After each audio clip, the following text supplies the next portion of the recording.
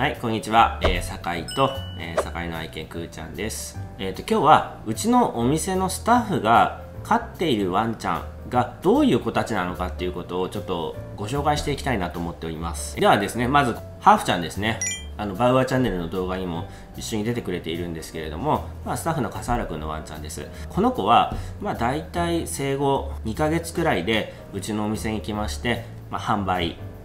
していたんですけれども、まあ、ちょっとなかなかねお客様と縁がなくて大体その1年ぐらいですねそのうちのお店、まあ、1年というか1歳ですね1歳くらいまでで販売をしていたんですけれどもで、まあ、スタッフの笠原君があの、まあ、やっぱり僕たちもあのお世話をしているとあのまあ、情も湧くし可愛いなっていう感じも当然出てくるんで、えー、この子、えー、僕のところで飼っていいですかっていうことで、まあ、連れて帰っていただいた、まあ、そういう子なんですね。まる子ちゃんチアワですねブルータンのチアワなんですけれどもこれもうちのトリマースタッフのが飼っているワンちゃんです。まあ結果的にやっぱりこの子も1年くらい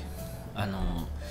お店にいたんですけれども、まあ、うちのトリマースタッフがやっぱり情が湧いてしまってこの子私が飼いたいんですけれどいいですか？っていうことで、まあ、お店としてはもちろん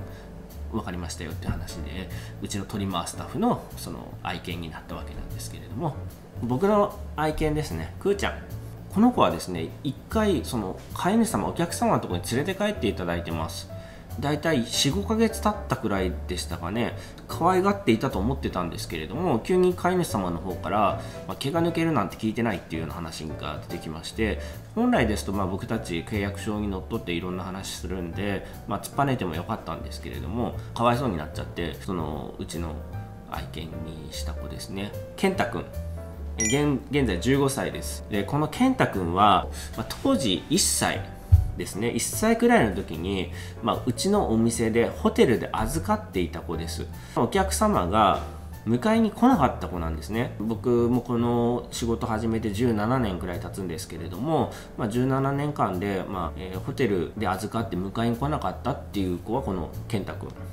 この子だけですね、まあ、ですからかれこれうちの店で暮らしてもう約14年になるんですけれども日中はずっとお店の中結構動き回ったりして、まあ、トリマースタッフと一緒にいることが多いんですけれどもすごく可愛がられています、まあ、もちろんそれまでの間にあのお客様にお電話をしたり一応法的手続きですね。もう考慮したあのお手紙等も送ったりしたんですけれども全然連絡もなくてで、まあ、この子どうしようかっていう話になっちゃったんですけれどもやっぱりそのホテルとしてね長いことお預かりもしていてまあ僕たちも長くっていうとあれですけど、まあ、何ヶ月かあの健太君一緒に過ごしましてうんまあやっぱりそんな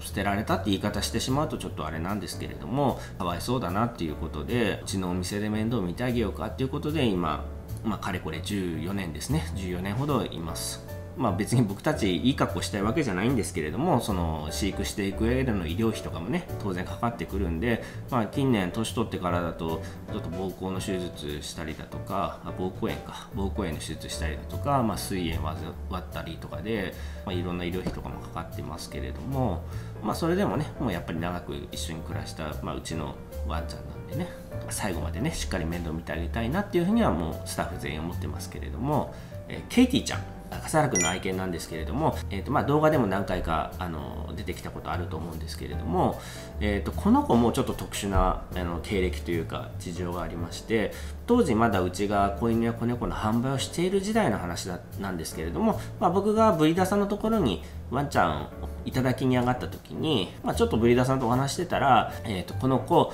あのもうちょっと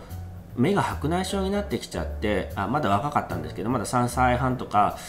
くらいだったと思うんですけれどもこの子目が白内障になってきちゃってちょっともう繁殖はできないんだということを話が出てきたんですね。で今里親さん探そうと思ってるのっていうことをブリーダーさんから言われてでまあ僕がそのかわいそうだなって思って連れて帰ってきちゃったんですね。スタッフからはちょっといろいろあの誰が面倒見るんですかっていろいろ言われちゃったりしたんですけれどまあもう連れて帰っちゃったんでごめんねっていうことであのしばらくお店にいたんですけれどもうちのスタッフの笠原君があの見かねてというか連れて帰ってくれて、まあ、今ではあの笠原君の愛犬として、まあ、あの幸せに暮らしてます。はい、で今ね何頭かご紹介させてもらったんですけれどももちろんまだまだたくさんのワンちゃんや猫ちゃんをうちのスタッフ飼ってます中にはね、まあ、ペットショップで買ったよっていう子もいるしその、まあ、猫ちゃんとかだと、まあ、保護猫だったり野良猫だったりそういった子を、まあ、あの飼い猫にしてるっていうようなことも、まあ、結構ありたくさんありますね。まあ、ペットショップで働いてるスタッフっていうのは基本的にはやっぱり、まあ、動物が好きであることが多いんですね、まあ、だからそういうその、まあ、かわいそうなワンちゃんだったり猫ちゃんだったり見るとやっぱりどうしても助けてしまうっていうことが多いんじゃないかなというふうには感じます。じゃあ、今はね、スタッフ、うちのスタッフが飼ってるワンちゃんや猫ちゃんの紹介を少しさせてもらったんですけれども、一般でよく言われているペットショップで売れ残った犬や猫たちはどうなるのっていう部分について、少し僕なりにあの解説をしていきたいと思います。もともとうちのお客さんだったりだとか、まあ、スタッフのあの知人だったりだとか、まあ、そういう方にそのお譲りするっていうことですねあのお譲りした後はまあ例えばですけれども、まあ、ドッグフードの購入今後もお願いしますとか、まあ、美容室ぜひうちを使ってくださいとかそういうような話の中で、まあ後につなげるというかあのそういった形で上等するっていうことは一般のペットショップさんでもまあまあよくあることなんじゃないかなと思います。うちのお店でもそのやっぱりこの15年ほどの間で、えー、3件か4件ぐらいはありましたね。正直ね、あんまり考えられないなとは思うんですよ。ニュースとかで出たことがあるんで、引き取り合いに引き取ってもらって、すごい劣悪な環境であのワンちゃん、猫ちゃんが飼われてましたっていうようなケースがあったらしいんで、全くないっていう話ではないんだと思うんですけれども、ただ、普通に考えてみると、当然ペットショップってワンちゃんや猫ちゃんをお金であのブリーダーさんやセリーチなんかでまあ、購入してくるんですけれどもそのお金で購入してきたワンちゃん猫ちゃんをそのお金を払って引き取り屋に引き取ってもらうっていうことが、まあ、まずあんまり考えられないのかなと思います。まあ、一般のペットショップならっていうことだとは思うんですけれども、引き取ってもらうことで、あの食費だったり、まあ、そのお世話する労力だったりそういったものからは、まあ、解放されることになるかもしれないんですけれどもそのそれで終わりになっちゃうんで、まあ、やっぱり先ほどのあの里親探すとかの方が建設的ですしその後につながるっていうことも考えるとその引き取り屋に引き取ってもらうっていうことがあまり現実的ではないんじゃないかなというふうに僕は思います。まず現在はできなくなりました。あの業者からの引き取りを愛護センター、まあ、保健所ですね。保健所は断ることができるようになりましたのであの今は少なくてももうないです。やっぱり建設的じゃないっていうか無意味だと思うんですよね。やっぱりそのまあ、ちょっと労力はあるかもしれませんけれどもあの里親を探してあげること、まあ、譲渡してあげることですね。これをしてあげた方がこの先がつながるんで、まあ、フード買ってもらったり美容室来てくれるかもしれないしあのそういったことを考えると、まあ、メリットって言い方おかしいですけれど必要がないんじゃないかなっていうふうには思います、まあ、いろんな話をしてきたんですけれどもまあ、やっぱり僕たちスタッフその売れ残ったワンちゃんだったりそのかわいそうなワンちゃんっていうのもやっぱり